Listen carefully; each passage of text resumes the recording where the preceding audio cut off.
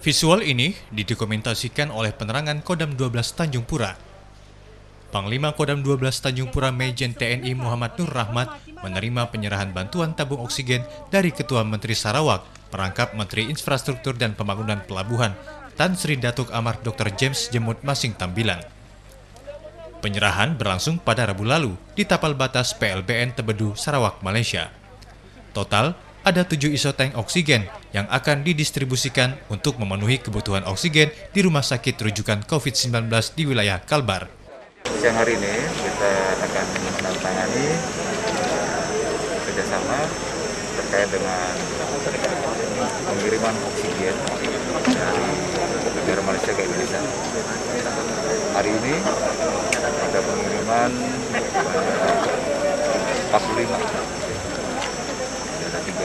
isoteng masing-masing ada 18 ton kemudian 15 ton dan kemudian 15 ton ada 45 ton